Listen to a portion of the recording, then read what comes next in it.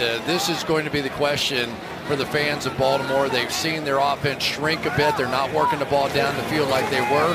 And now comes a guy that can not only throw it, but do this. Yep.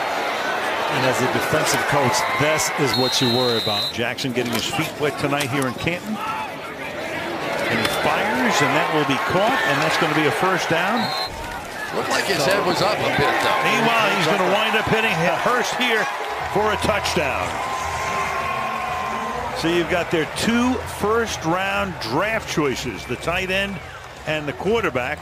Here, once again, you'll see Hurst just coming off, understanding what's going on. He's an older guy. I think he's 25 years old, just getting that little seam and sit down. But what an impressive start there for Lamar Jackson. And this is what you want to see.